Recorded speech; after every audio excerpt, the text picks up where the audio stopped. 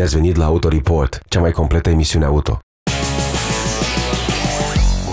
Pentru început vom merge la München pentru a testa noua versiune a SUV-ului BMW X1 în cadrul unui test în orașele din Bavaria. Vom testa la Mamaia nu unul, ci două Audi A1 în două versiuni de caroserie, dar și cu motorizări diferite. Dacia Logi devine vizitator în România în încercarea de a ne arăta că și în Maroc se pot produce mașini românești. La secțiunea Business Report avem două clipuri foarte interesante. Unul care implică un record mondial și celălalt care vă va ține cu sufletul la gură.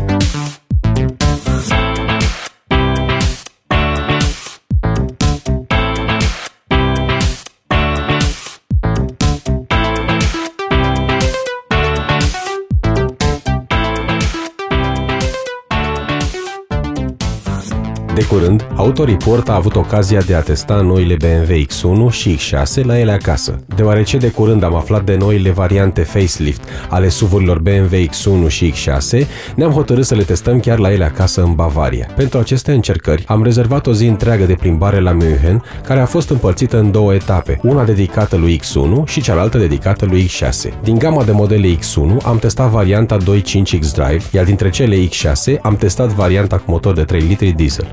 Între teste, am avut parte și de o vizită bine meritată la muzeul BMW, acolo unde am aflat o mulțime de amănunte interesante despre producătorul german, despre care puțin știu că a fabricat prima dată motociclete și motoare de avion. X1 a suferit mai multe modificări pentru a deveni mai sportiv. Acesta este primul crossover cu o poziție de conducere joasă și cu o ținută de drum comparabilă cu a unei compacte. BMW X1 a deschis segmentul SUV compact. Recent a fost prezentată și varianta facelift, cu o serie de îmbunătățiri de design și tehnologii unice. Printre cele mai noi dotări se numără cutia de viteze cu 8 trepte și pachetul de tehnologii BMW Efficient Dynamics, care includ și modul de funcționare EcoPro. Noul model va fi lansat pe piața din România în toamna acestui an, prețul urmând a fi anunțat la o dată ulterioară. Modificările de design includ noile faruri de zi cu inele LED și lumini de accent orizontale LED. Partea frontală a noului BMW X1 este marcată de patru linii care se întâlnesc deasupra numărului de înmatriculare, formând un X, specific pentru modelele SAF BMW. Primele dintre ele coboară de pe capotă în V, acoperă farurile și se întâlnesc sub grila dublă a radiatorului. Interiorul a primit o restilizare ușoară, marcată de orientarea mai pronunțată a consolei centrale către conducătorul auto, un element distinctiv al mărcii implementat pentru prima dată la jumătatea anilor 70.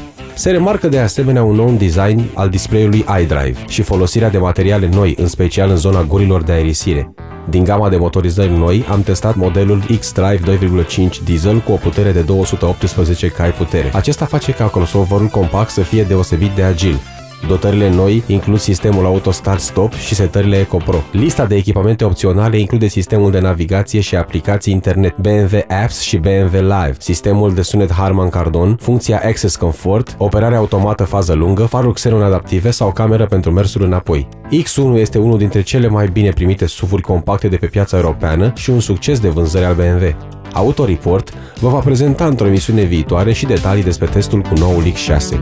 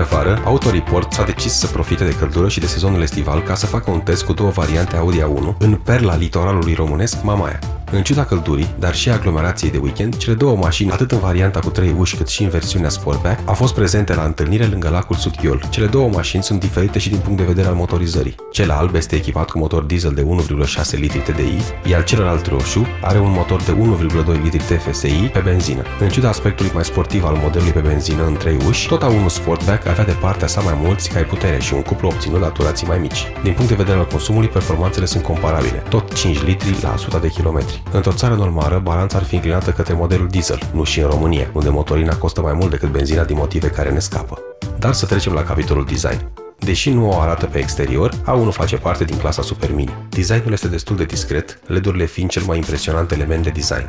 În rest, vorbim de niște linii cu minți care nu te lasă să ghicești faptul că ai în față o mașină care stă pe drum foarte bine. La comportament dinamic, A1 este peste mașinile din clasa ei, la fel și la confortul pentru cei doi ocupați din față. Nici locurile din spate nu sunt minuscule și sunt chiar practice. În portbagaj ai suficient loc pentru a lua lucruri pentru o vacanță de câteva zile. La interior, materialele și finisajele sunt premium, dar parcă un pic prea sobre. Poziția de condus este una confortabilă, iar vizibilitatea este una bună. Am ales ca loc de popas mini-portul numit Scandinavia din stațiunea Mamaia.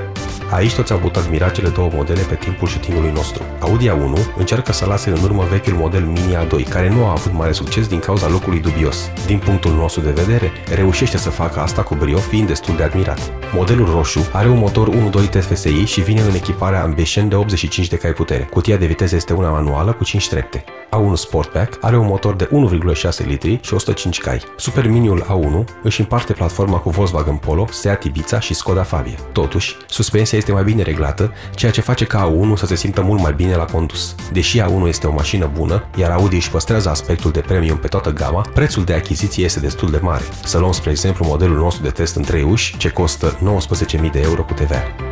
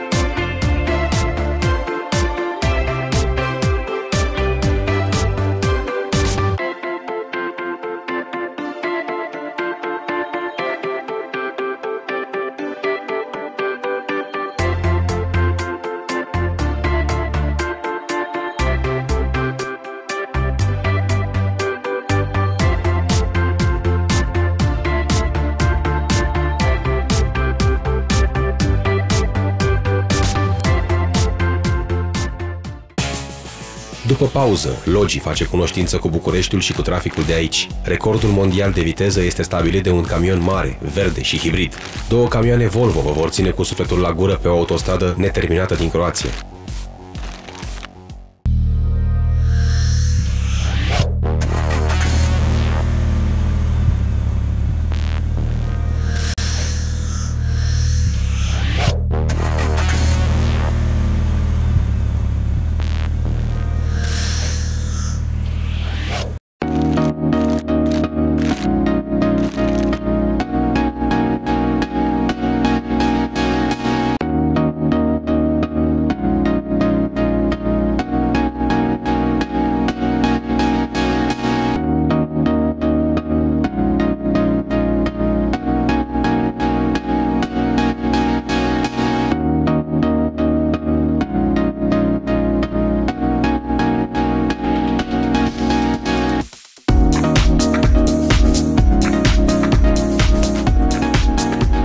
Autoreport a testat prima Dacia din istoria brandului român produsă în afara granițelor țării noastre. După un test în Maroc, a venit ziua în care putem vedea cum se comportă Logi odată adus în România. Gropi, trafic bucureștean, dar și reacția celor din jur au putut fi observate pentru prima dată de noi în cadrul primului test cu prima Dacia care nu este produsă la Mioveni. Este drept că a mai existat o Dacia care nu a fost produsă la Mioveni, ci în Timișoara, aceea fiind Lăstunul și fiind produsă în România. De această dată vorbim de un alt continent și de o altă țară unde amploarea luată de brandul românesc a adus numele singurei noastre mărci de mașini. Aceasta este cea mai mare Dacia produsă vreodată. Logi aduce noi semnificații noțiunii de spațiu în lumea automobilelor. Un spațiu interior și porbagaje imense, monovolumul românesc construit în Maroc este surprinzător. La drumurile mele prin București, dar și prin împrejurim, am remarcat că foarte multă lume se uită uită după logi. Opiniile sunt împărțite și oscilează de la e urât până la uite ce mare și frumoasă este noua Dacia. Este drept că Logi nu este cea mai frumoasă mașină de pe stradă, dar în cazul unui monovolum, designerul nu are spațiu foarte mare de inovare. Mașina în schimb este practică și deși este lungă, este foarte ușor de manevrat chiar și în spații strâmte. Partea din spate are niște blocuri optice cu un aspect destul de neobișnuit, iar ușa de acces la portbagaj este imensă și amintește de cele întâlnite la MPV-urile bazate pe vehiculele comerciale ușoare. Logi stă foarte bine pe drum datorită ampatamentului mare și în ciuda înălțimii mari, direcția are un feedback destul de bun. Chiar te ia prin surprindere prin fidelitatea cu care îți aruncă înapoi fiecare șoc al unei denivelări sau unei gropi. Sistemul de suspensie este confortabil și robust, drumurile accidentate din România ne ridicând foarte mari probleme. 1,5 DCI este recomandarea noastră. Cel mai bun motor din gama Logi, după părerea noastră, este mult încercatul 1,5 DCI de la Renault. Mașina de test este echipată cu acest propulsor în variantă de 110 cai putere. Acesta asigură suficientă putere pentru a mișca monovolumul imens, iar la consum se dovedește destul de economic, cu doar 7-8 litri la 100 km în oraș, în funcție de stilul de condus. Cutia de viteză manuală este bine etajată și are 6 trepte. Atunci când ești singur într-un logi, aproape că îți pare rău că nu folosești la maxim toate locurile din interior, mai ales că spațiul interior este atât de mare încât atunci când vorbești te miri de ce nu creează un ecou. Plasticele sunt destul de tari, dar finisajele au mai crescut cu un nivel față de cele de la Duster. Printre noutățile Logi, Dacia oferă și lumini de zi pe niște blocuri optice față care arată bine și un sistem audio cu interconectivitate USB. Și pentru că unii ar putea avea dificultăți la parcarea unei mașini ca Logi, o altă premieră pentru Dacia sunt senzorii de parcare. Am lăsat la urmă siguranța deoarece este un aspect important. Noul model Dacia dispune de sistemele ABS, EBD și asistență la frânarea de urgență. Dacă ar fi fost să fie lansat anul viitor, am fi avut și ESC, adică SP-ul în dotarea standard. Mai sunt disponibile două airbag-uri frontale și două laterale, dar și centuri pretensionate. Modelul testat de noi este o Dacia Logi Laureat cu un preț de 14.200 euro cu TVA. Logi este destinată mai mult piețelor din vestul Europei, unde se va lupta atât cu monovolumele de tradiție precum Zafira, Charan sau Grand Scenic, dar și cu nou veniții precum Orlando.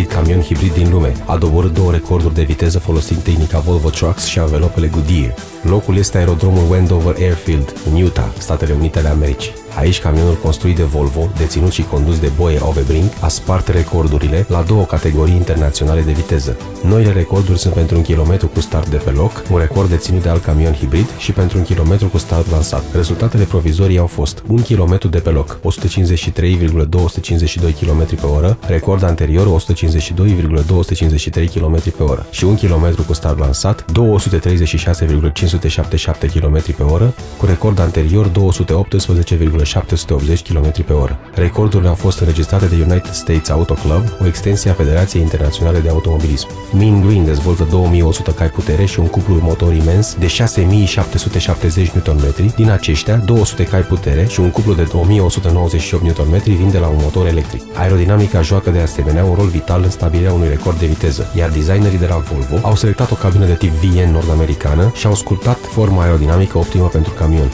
Mean Green are un motor Volvo D16 și o versiune modificată a cutiei de viteză automată L-Shift, care interacționează cu motorul electric al sistemului hibrid. Anvelopele capabile să reziste la asemenea presiuni enorme sunt esențiale, iar Goodyear a lucrat îndeaproape cu cei de la Volvo la acest proiect și la dezvoltarea unor anvelope speciale pentru Mean Green. Accelerarea de la 0 la 100 de km în 4 secunde este ceva impresionant și pentru o mașină, și cu atât mai mult pentru un camion cu o greutate de 6 tone.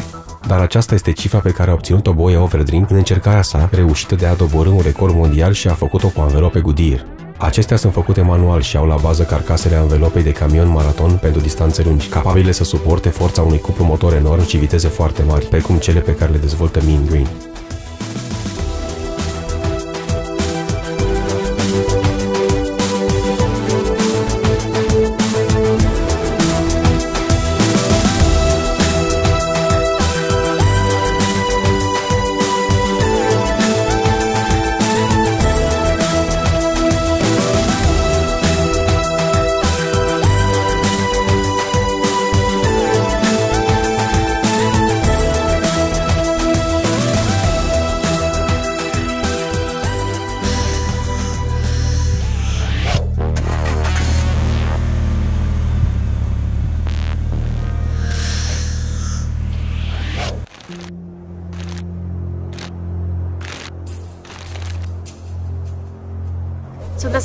Stunt to do is uh, two Volvo trucks speeding down the highway towards a tunnel, and I have to walk across a line before they come to the tunnel.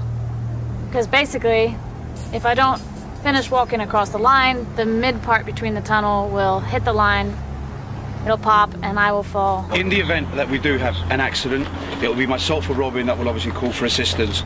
So what do you think of this stunt? It's crazy. it's crazy. I've highlined much higher than this before. Um, I've highlined on longer lines, and I've highlined in harsher winds, but I've never slacklined moving forward before. Too far apart, the rope breaks, too near together, she falls off. I try not to let very much go through my mind. It's better to just focus on walking and getting to the anchor.